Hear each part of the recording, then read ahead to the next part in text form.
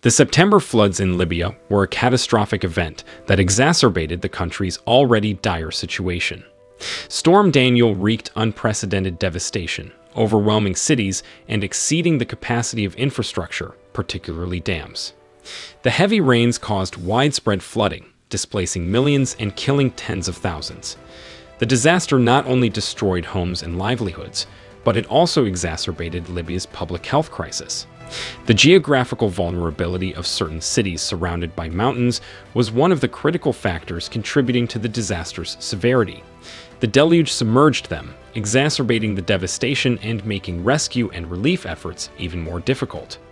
Despite the magnitude of the tragedy, the international response was noticeably muted and news coverage was disproportionately limited. The lack of attention hampered critical aid efforts and global awareness of the gravity of the situation, leaving Libya struggling to deal with the aftermath of both natural disasters and public health challenges. TR Media investigates disruptive frontiers and transformative initiatives around the world. Whether you're a new viewer or looking for insights into the ever changing landscape of innovation and global impact, our content takes a deep dive into the most recent breakthroughs and their global transformative effects. The blame game has begun in the aftermath of the devastating floods that engulfed Derna, Libya, and completely destroyed the city. Nearly two months after the flood, Libyans have taken to the streets, venting their rage by torching ministers' homes. As tensions rise, the government's response, which includes the punishment of protesters, suggests a possible escalation. The situation appears to be out of control, raising concerns about unanticipated consequences, which could lead to a government overthrow similar to previous coups in Africa. Storm Daniel, which hit Libya on September 13th, unleashed an unprecedented deluge, overwhelming the region's unprepared infrastructure and laying the groundwork for the ongoing post-flood crisis. This devastating weather event, dubbed the deadliest Mediterranean tropical cyclone in history, first hit Greece, Bulgaria, and Turkey before intensifying as it moved towards Libya, causing widespread flooding. Greece suffered damages totaling over 2 billion euros, while Libya suffered the failure of two dams near Derna, resulting in the tragic loss of at least 4,433 lives, primarily in and around Derna, with tens of thousands missing. On September 9th, Osama Hamada, Prime Minister of the Government of National Stability in eastern Libya, declared a state of emergency, shutting down several oil ports for three days. Despite the fact that the ports reopened soon after, the collapse of the Derna and Mansour dams had disastrous consequences, with 30 million cubic meters of water submerging neighborhoods and causing widespread destruction. Prime Minister Hamada witnessed the sweeping destruction of neighborhoods, submerged vehicles, and collapsed bridges and compared the impact to a tsunami, emphasizing the gravity as a quarter of Derna appeared to vanish into the Mediterranean Sea. Despite a precautionary curfew imposed prior to the storm's arrival on September 10th, which kept residents confined to their homes, the storm's catastrophic effects unfolded. Health Minister Othman Abdul Jalil revealed that 6,000 people are missing in Derna, with the city's mayor, Abdul Menem Al Gaithi, estimating that the final death toll will be between 18,000 and 20,000, accounting for up to a fifth of the city's population. Only three of Derna's 10 districts were spared by the flooding, which rendered five of the city's seven entry points impassable and effectively divided the city after bridges along the Wadi Derna collapsed. Derna's 6,142 buildings were damaged, with 891 completely destroyed, 200 partially damaged, and 398 submerged in mud. The flood covered approximately 6 square kilometers, rendering the city's hospitals inoperable and overwhelming morgues, resulting in bodies being laid out in public places. Due to overcrowding, over 300 bodies were sent to Tobruk's morgue, and over 1,000 were interred in mass graves. Over 200 bodies were discovered up to 100 kilometers away by naval teams dispatched to recover bodies swept into the sea. The city's neglect over decades, exacerbated by conflict during Muammar Gaddafi's regime and subsequent instability after Gaddafi's overthrow, played a critical role in the magnitude of the disaster. The failure of dams built in the 1970s by the Yugoslav companies Hydrotehnica and Hydroenergetica exacerbated the disaster.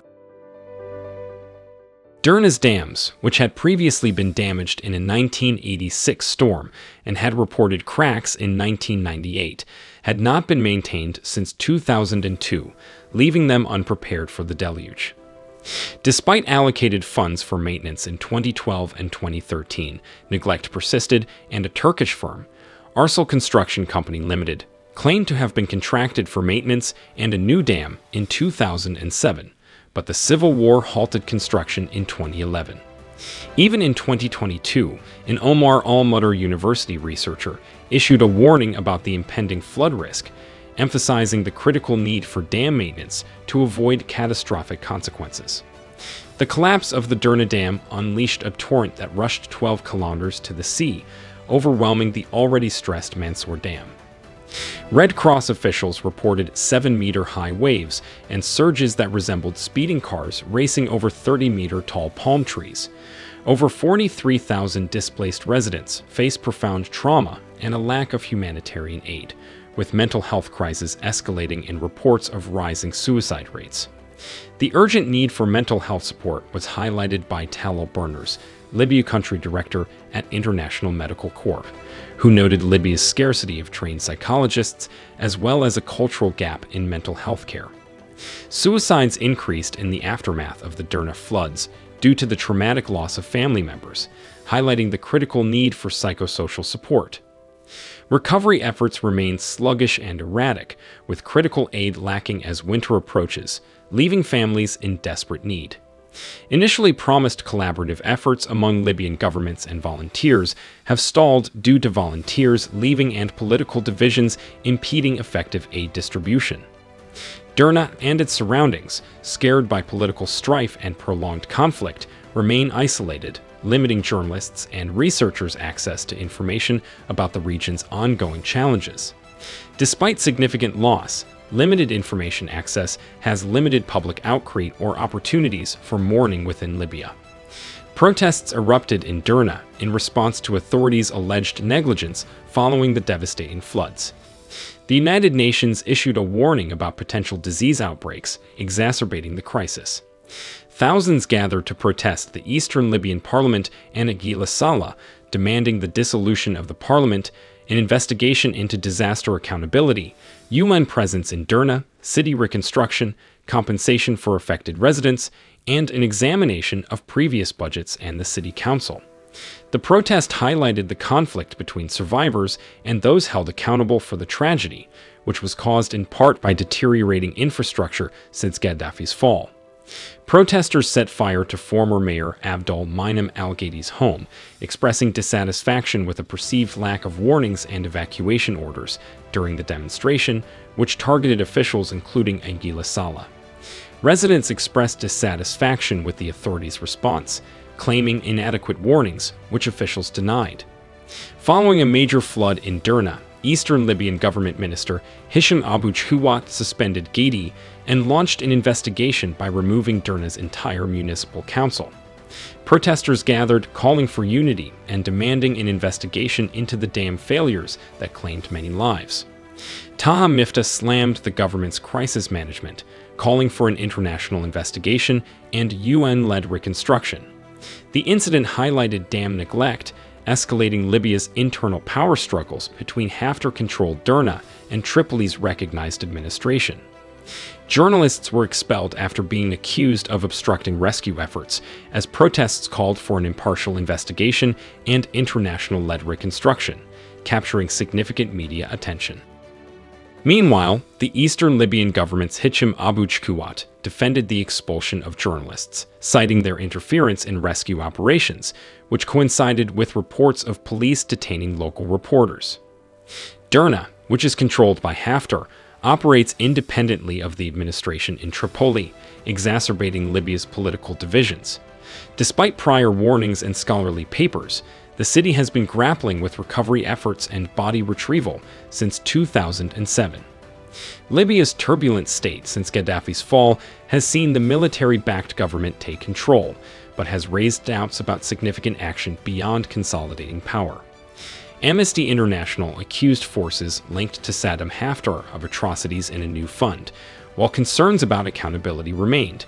This has fueled doubts about the government's ability to manage crisis, with many wondering if preventive measures could have mitigated the disaster or if its severity could have been mitigated. Do you want to watch more videos like this one? If yes, subscribe to our channel and press the bell icon next to it. We have decided to bring videos on something nobody talks about, the black culture, civilization, history, and evidence about how glorious blacks have been. Thanks for watching, and until the next video, stay tuned.